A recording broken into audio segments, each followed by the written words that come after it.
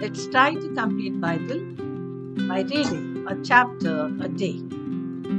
In this chapter, we read about John's disbelief in Jesus as the Messiah as he expects Jesus to immediately bring an earthly kingdom. Then Jesus tells John's disciples to go and tell how Isaiah's prophecies are coming true as Jesus is healing the blind, lame, lepers, deaf, and as well as raising the dead and preaching good news to the poor. Next, in this chapter, Jesus pronounces judgment on the cities of Chorazin and Bethsaida, where people do not repent despite seeing him perform great and powerful miracles. He says in the same chapter if these same miracles had been performed in the wicked cities of Tyre and Sidon, those idol worshippers would have repented in great humility. He is very unhappy with their unbelief.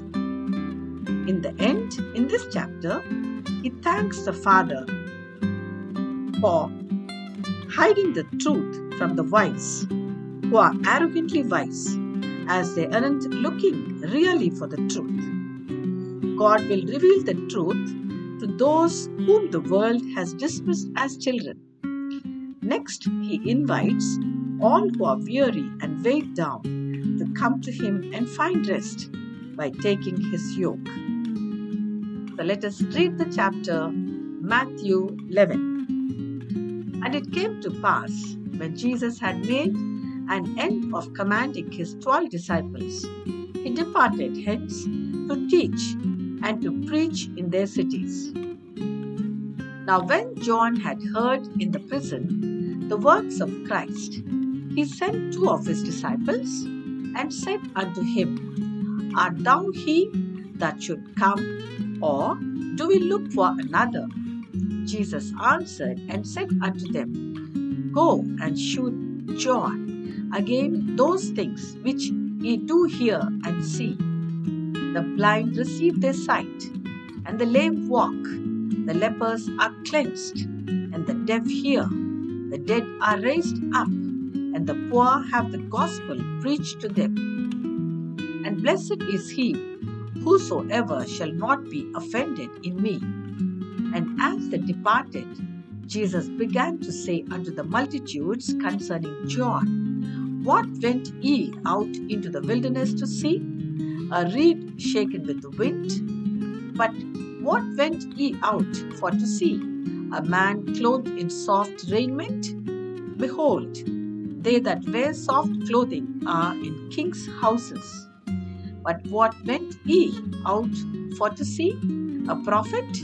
Yea, I say unto you, and more than a prophet. For this is he of whom it is written, Behold, I send my messenger before thy face, which shall prepare thy way before thee.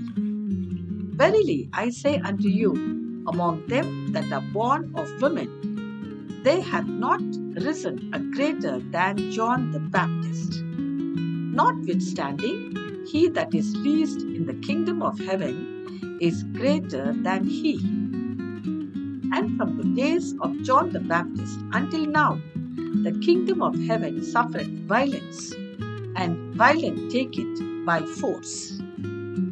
For all the prophets and the law prophesied until John. And if ye will receive it, this is Elias, which was fought to come. He hath that ears to hear, let him hear. But whereunto shall I liken this generation? It is like unto children sitting in the markets and calling unto their fellows, and saying, We have piped unto you, and ye have not danced. We have mourned unto you, and ye have not lamented. For John came neither eating nor drinking, and they say he hath a devil. The Son of Man came eating and drinking, and they say, Behold, a man, gluttonous, and a wine bibber, a friend of publicans and sinners, but wisdom is justified of her children. Then began he to upbraid the cities wherein most of his mighty works were done, because they repented not. Woe unto thee, Chorazin! Woe unto thee, Bethsaida! For if the mighty works which were done in you had been done in Tyre and Sidon, they would have repented long ago in sackcloth and ashes. But I say unto you, it shall be more tolerable for Tyre and Sidon at the day of judgment than for you. And thou, Capernaum, which art exalted unto heaven, shall be brought down to hell. For if the mighty works which have been done in thee had been done in Sodom, it would have remained until this day.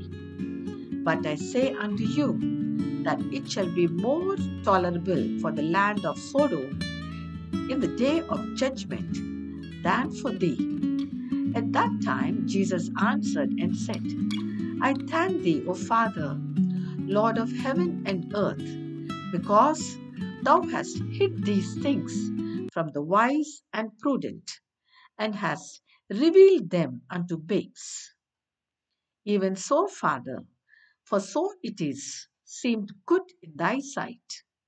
All things are delivered unto me of my Father, and no man knoweth the Son but the Father, neither knoweth any man the Father save the Son, and he to whomsoever the Son will reveal him.